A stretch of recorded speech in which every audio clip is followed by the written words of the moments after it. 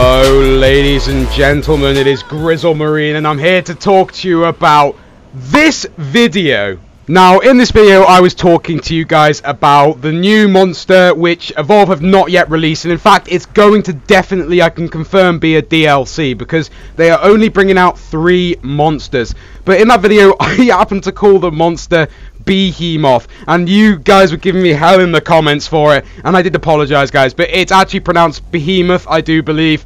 Um, that's just me being a fucking idiot right there.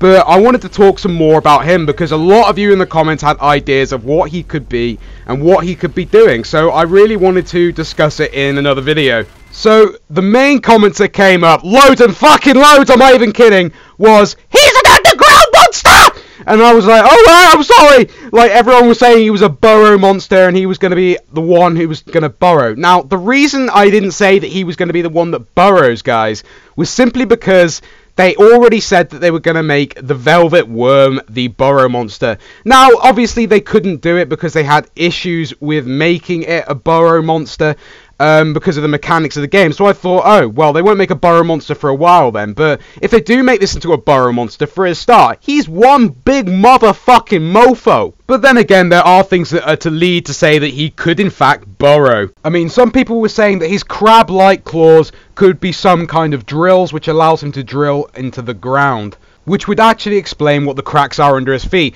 But then I would say, in my opinion, that his crab-like claws are just simply for attacking, and the cracks under his feet is just simply because he's a weighty motherfucker, like a fat bastard, and he basically is weighing the da- ground down, or he is definitely going to have what I think is lava abilities, because obviously I introduced into the background of this picture um, that there was lava in the background, so it does represent that he could be some kind of lava creature that could bring up lava from the ground, or in fact might say that he could be on some sort of cool lava map. The other thing is he has some crazy eyes, which I didn't really get a chance to talk about. And people are also saying that obviously, you know, to be able to see in quite dark conditions, you need obviously a lot of fucking eyes. So that could be another reason to why he might be able to dig underground so that he can see better or have some sort of night vision purpose. But still, in my opinion, I don't think, in my, uh, my thoughts, obviously you guys might think so, and I might be completely proved wrong, I don't think he's going to be the one that's going to burrow underground.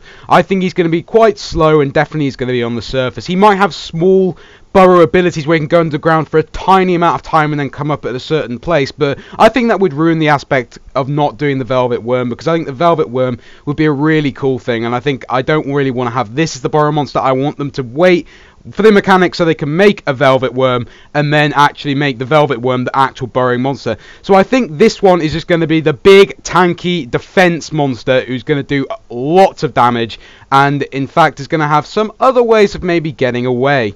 So when are we going to see Behemoth? Well, obviously they haven't brought out the game yet, and we know that all they're bringing out in the game now is the three monsters that have already been revealed, which is obviously Goliath, Kraken, and Wraith.